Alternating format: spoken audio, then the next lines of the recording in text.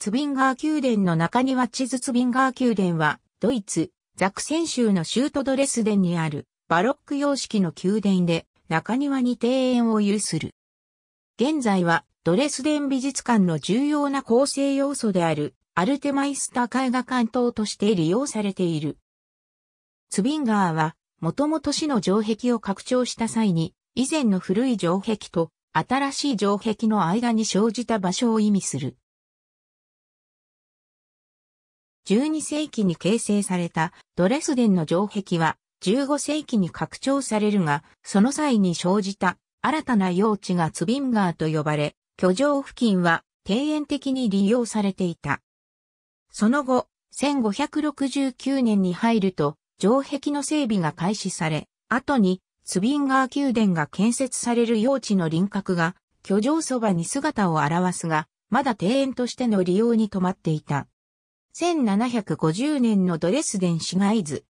16世紀に整備された星型要塞に囲まれた市街地の上端にツビンガーが見えるツビンガーに宮殿を建築したのは1694年にザクセン選定校となったフリードリヒ・アウグスト一世である。当時のドレスデンは木造建築が主体であり、1687年から1689年にかけてフランスやイタリアを旅行してきたアウグスト教王には時代にそぐわないものに見えた。そこで居城そばの庭園に石像の宮殿を建築することが計画された。宮殿の計画に着手されたのは1709年で、まず敷地が整備された。そして1711年には建築が開始されている。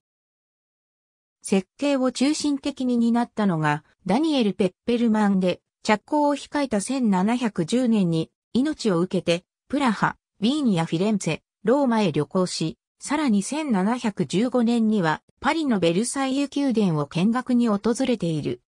こうして1719年に宮殿の落成が祝われたが、その後も1728年まで工事が継続されている。こうしてドイツバロック建築の傑作と言われ、多数の彫刻で飾られた宮殿が完成した。